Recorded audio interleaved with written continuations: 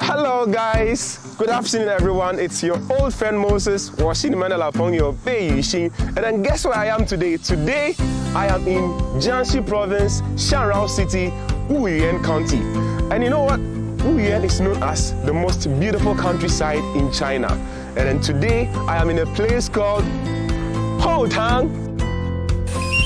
This place is so amazing. I mean, it's cool, it's serene, and um, I just like it, you know. It's kind of feels so natural. I like the whole wooden structure and um, the entire design of the room. I mean, it's. How do you feel? I'm afraid. wow.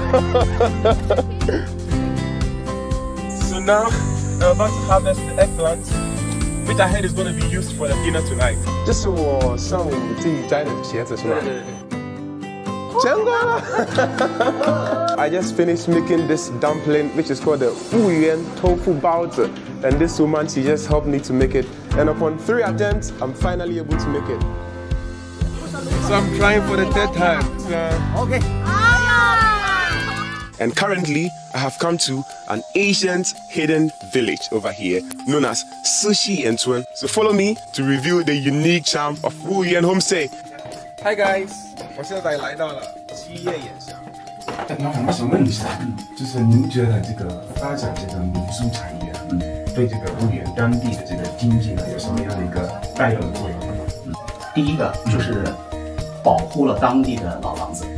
还有那个开发了闲置的房产。嗯，第二个呢，就是能够带动当地的呃户户，增加一些就业机会。第三个，我们客观上需要采购物品，我们希望就是挖掘我们当地这个文化文化的底蕴。嗯，来这里不光是看这个自然风光，还可以看我们当地的这个风土人情、这个文化文化遗存建筑。